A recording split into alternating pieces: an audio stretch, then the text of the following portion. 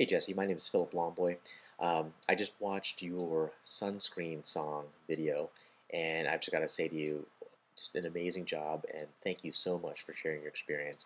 Um, not only was the video shot just uh, beautifully, um, just great images of, of your experiences and all the places you've been, but just uh, coupling it with a song, um, something that I think was uh, just a, a huge inspiration for me when it first came out mean, just uh, hearing that again was just was just amazing. And uh, again, I wanted to thank you for putting that together and sharing it with the world. I mean, I've been sending it to all my friends and family, and it's definitely one of my favorites.